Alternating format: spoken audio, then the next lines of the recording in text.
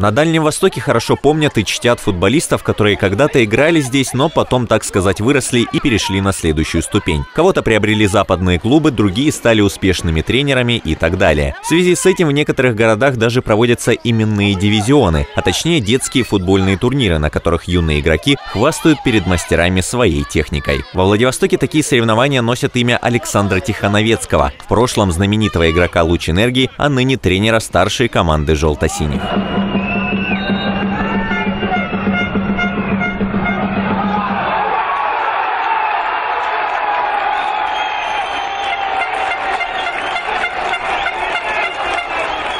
Дети смотрят э, что на меня, что э, Тихоновецкий много поиграл в этой команде. И я думаю, что они стремятся также, будут стремиться к этому, э, к таким высотам, как, каких достиг.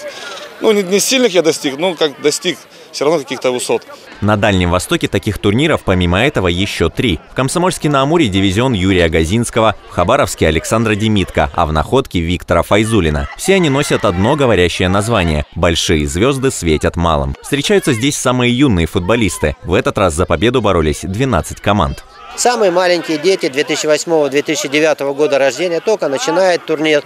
Ну, еще немного что умеют, но есть очень интересные ребята. Ну и самое главное, что эмоций хватает, эмоций хватает. Но есть ребята, которых можно уже сегодня э, прогнозировать их какое-то футбольное будущее. Команды у нас здесь э, с Владивостока, с Уссурийска, ну и с Благовещенска. Участников разбили на три группы. Круговая система вскоре выявила лучших. В финальном матче сошлись два одноименных клуба – Владивостокский и Благовещенский «Луч Энергия». Победу со счетом 3-1 одержали хозяева. Третью строчку заняла местная «Новая энергия». Помимо призовых медалей и кубков, отдельным футболистам Тихоновецкий вручил от себя специальные награды. Поэтому эмоции от турнира у детей запомнятся надолго. Я забил два гола, и все эти голы были с углового.